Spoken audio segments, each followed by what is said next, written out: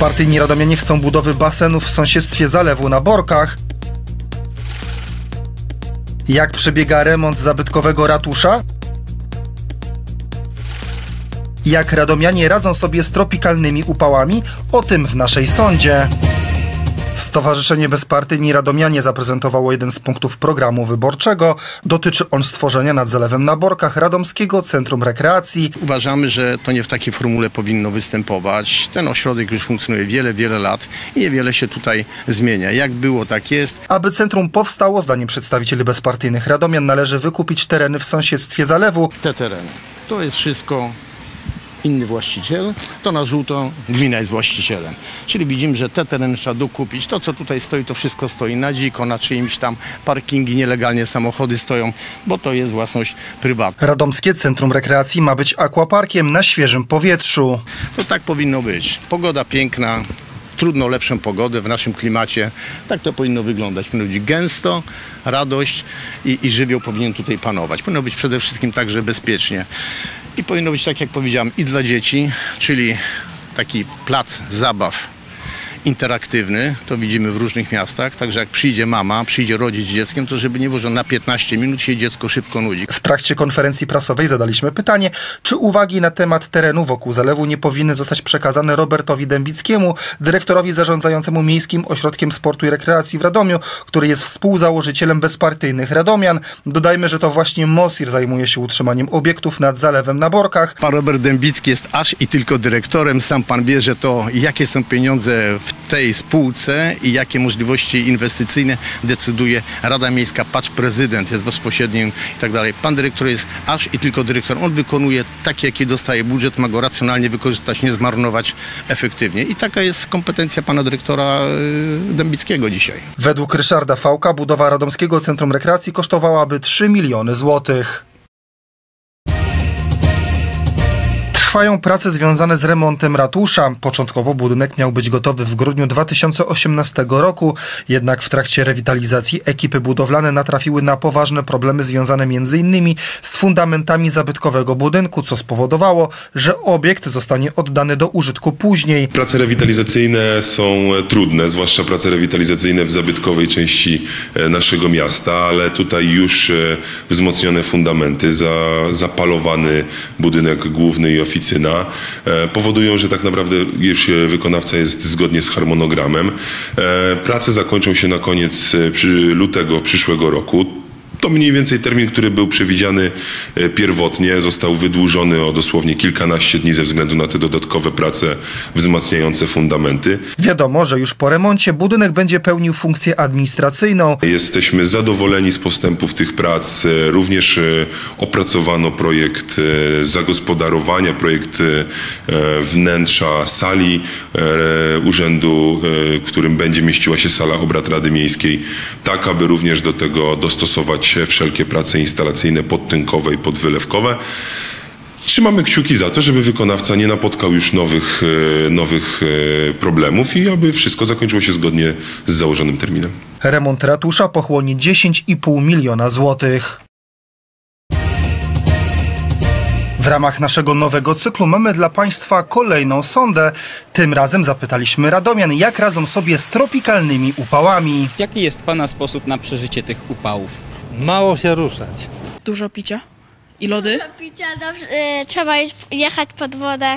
Woda, cień, a jeśli ktoś lubi upały, to nie przeszkadza. pewno e, woda. e, s- No ja akurat tu kompocik sobie wzięłam, bo troszeczkę ciśnienie spada.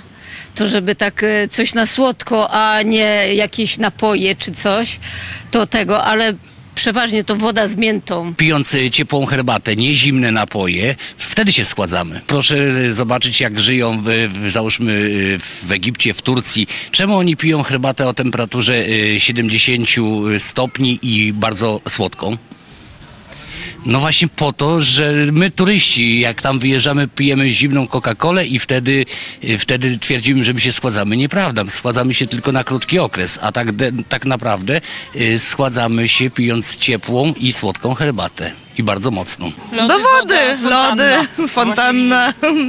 Zimne napoje i basen. Jaki jest Pana sposób na przeżycie tych strasznych upałów? Luz totalny. Nie uczyłam tego, że takie są straszne upały. Bardzo dobrze się czuję w takich upałach. Siedzenie w cieniu, zjedzenie loda. Jak coś chce się schłodzić, to idę do żony zaraz kubeł zimnej wody na głowę. No zimne lody, albo jakiś prysznic chłodny. Takie łagodne, lekkie posiłki. No przede wszystkim woda, uzupełnianie wody, jakichś elektrolitów, bo tak ludzie nie bardzo też y, wiedzą, co, co jeść w tym, w tym czasie. Dieta lekkostrawna, ale dużo pić i jakieś elektrolity uzupełniać. To jest najważniejsze. Trzeba mieć przy sobie e, wodę, no dobrze mieć wachlarzyk też i powachlować się, jakiś na głowę dobry kapelusik lub nakrycie. No i odpoczynek, nie przemęczać się. Uh, the best way to cool down is definitely with an ice cream, a nice uh, cool ice cream. Myślę, że pić wodę i cieniu posiedzieć. Pić wodę, co koleżanka powiedziała i dużo lodów jeść i w cieniu siedzieć. Od słońca uciekać, odpoczywać, tak. przede wszystkim arbuz i dużo wody. Spacer w cieniu z dziećmi. Najlepiej, no wiadomo, siedzieć w domu, no ale ile można. W domu zawsze chłodniej. myślę, że jedzenie lodów. Bardzo lubię ciepło, mi specjalnie nie przeszkadza ta pogoda, ale najlepiej to jest gdzieś nad wodą, no ale basen, dwa baseny są czynne w tej chwili w Radomiu, można się wybrać albo na Delfina, albo na y, osiedle Ustronie, także woda jest najlepszym sposobem. No, słyszałem, że na Borkach nie ma kąpieli, szkoda, bo piękny akwen, a szkoda, że, że niestety w tej chwili jest nieczynny, ale to już pewnie jest, od wielu lat jest taki problem.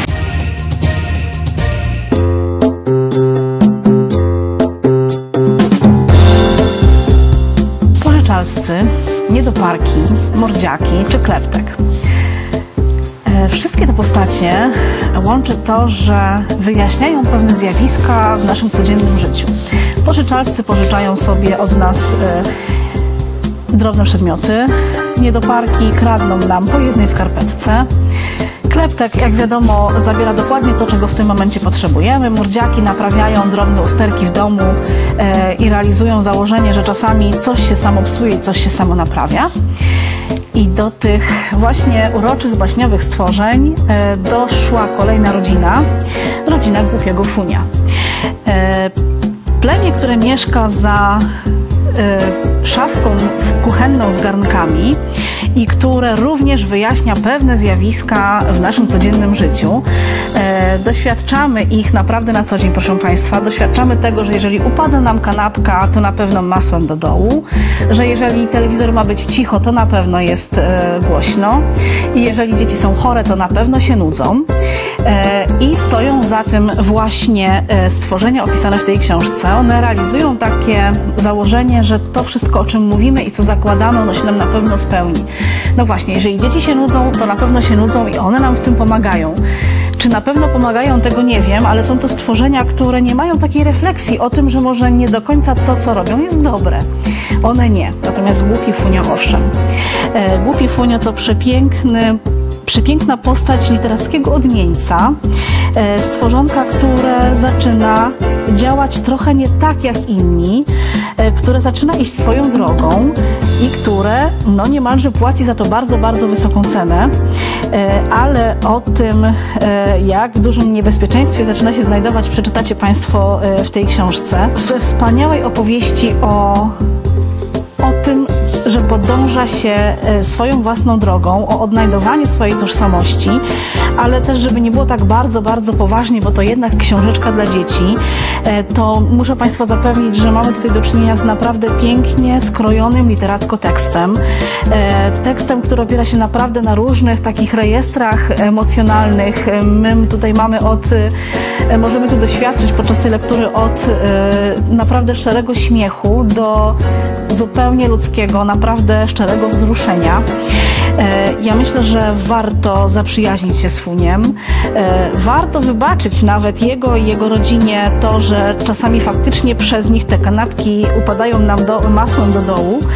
Em, No właśnie, e, Jerzy Wlazło e, podarował nam postać e, z którą warto się zaprzyjaźnić i myślę, że byłoby to duże, e, duża, duże zaniedbanie z naszej strony, gdybyśmy do Funia e, nie wyciągnęli ręki.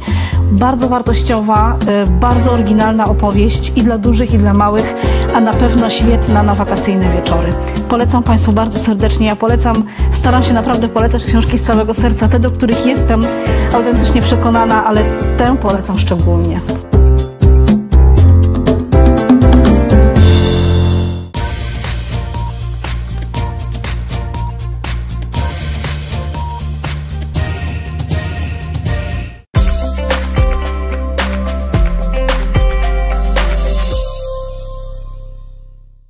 Restauracja La Spezia. Świetna lokalizacja, nowoczesne wnętrza i różnorodne menu. Serwujemy pyszne dania z grilla. Steki wołowe, kurczak, sery, do tego znakomite dodatki i sosy. Kuchnię włoską, makarony, przystawki, ponad 30 rodzajów pizzy. Polecamy burgery z soczystej pysznej wołowiny. A dla najmłodszych mamy specjalne menu i kącik zabaw. Organizujemy catering, imprezy okolicznościowe, posiadamy prywatny VIP room z tarasem. Restauracja La Spezia, ulica Sandomierska 1. Zdrowo i ze smakiem. Nowość. Automatyczne bramy garażowe. Dostępne od ręki. Bardzo dobra jakość. Transport do klienta. Łatwość w montażu. Produkt radomskiego lokalnego producenta. Jarmex. Ogrodzimy co chcesz. Dostarczymy gdzie chcesz. www.jarmex.com.pl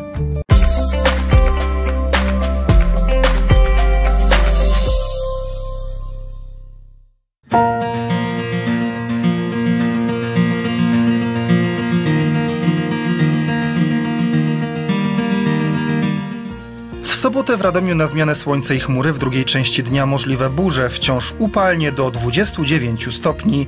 W niedzielę zachmurzenie umiarkowane, synoptycy zapowiadają przelotne opady deszczu na barometrach 1015 hektopaskali. W poniedziałek pogodnie i już bez opadów, na termometrach do 24 stopni, ciśnienie nieznacznie w górę.